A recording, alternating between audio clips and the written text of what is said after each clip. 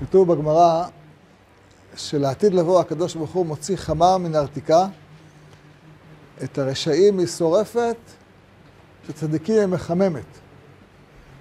אה, אנחנו לא יודעים מה הכוונה, אבל זה פסוקים מפורשים.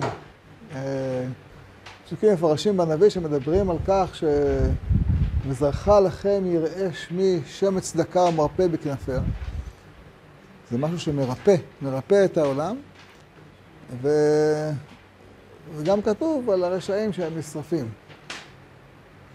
אה, אי אפשר להתעלם מהגמרא הזאת כשרואים מה קורה כעת בעולם.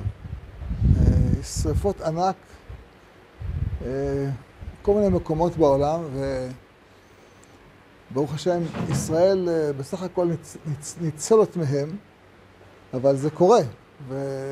וכשאתה רואה את זה, אתה רואה את השרפות הענק שיש בלבנון, אתה רואה שיש ברוסיה, בכל מיני מקומות ש... שבהם אה, יש, יש מה לנקות, בוא נאמר ככה. אומר, אולי זה חכמים כיוונו? אה, זה באמת לימוד גדול, לא תמיד אתה יכול אה, להגיד זה זה באופן מוחלט, אבל אתה לא יכול להתעלם ולומר זה לא זה.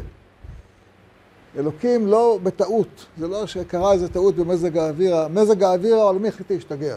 אין, אין דברים כאלה. מזג האוויר העולמי לא משתגע. מזג האוויר העולמי זה כלי ביד השם, שאיתו הוא מנהל את העולם, איתו הוא מדבר איתנו.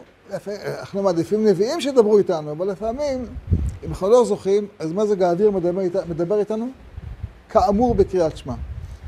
וכאמור בגמרא, וכאמור בדברי חז"ל, ואנחנו צריכים רק להקשיב. ולוואי נזכה להיות מאלה שהשמש מרפא אותם, אמן ואמן.